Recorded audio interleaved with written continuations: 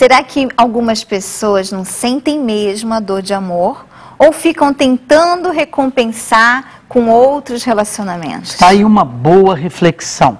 Como ficar mais confiante? Aprenda a falar não. Imponha limites às pessoas. Valorize suas qualidades.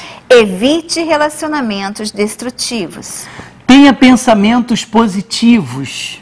Crie projetos para o futuro. Tenha um hobby. Cultive as amizades. Faça planos e sonhe. Cuide de si mesmo. Não deixe que as críticas alheias lhe derrubem. Aprenda com os erros.